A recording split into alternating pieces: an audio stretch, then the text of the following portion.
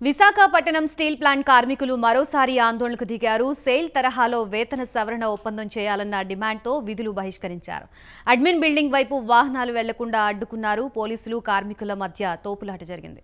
బారికేడ్లు తొలగించుకుని admin building వైపు వెళ్ళడానికి ప్రయత్నించారు. ఈ సందర్భంగా జనరల్ మేనేజర్ సంజీవరావు నిరసన దీక్ష వద్దకు వచ్చి కార్మికులతో మాట్లాడారు. ఈ నెల చివరిలోపు కార్మిక నాయకులు సియాండితో మాట్లాడి సానుకూల పరిష్కారం చూపిస్తామని హామీ ఇచ్చారు.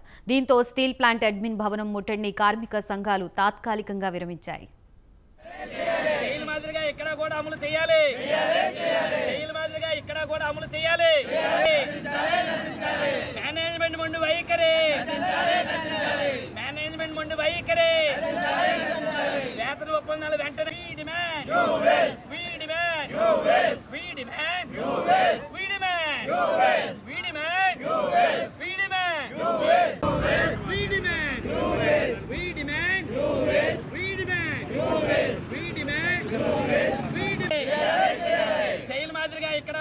చేయాలి చేయాలి